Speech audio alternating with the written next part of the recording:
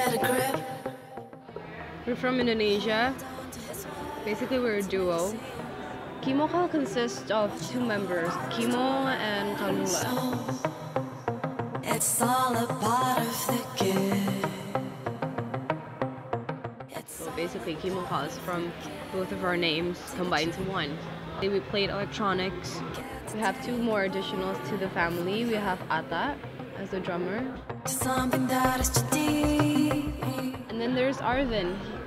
Arvin plays the guitar and the synth. It's all a part of the gig.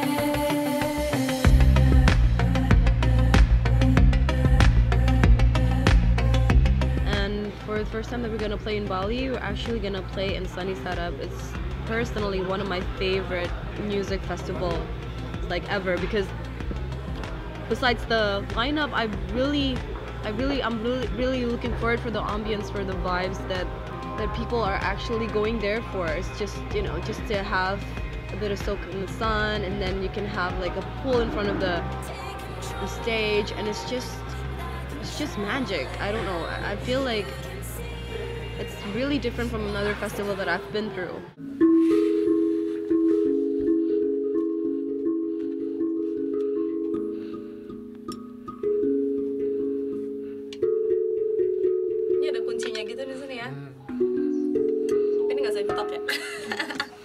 So the sound check went really well. Uh, but it took a bit of while for Kimokal sound check because sometimes it could take like an hour or two just to set everything all together.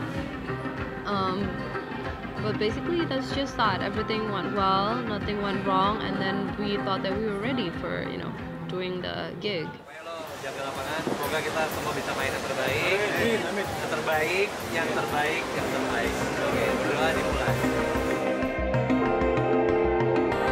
Kimokal Korea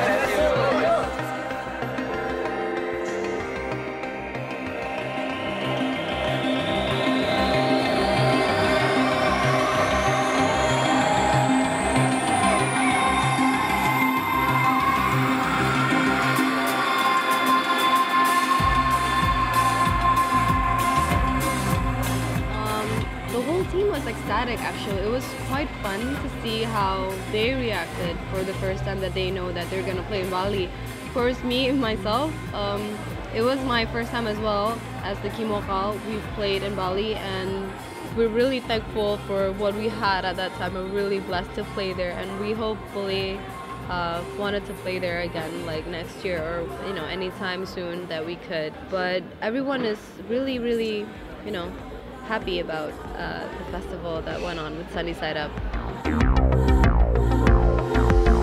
She fell in love for the first time in her own rhymes, in her own rhymes.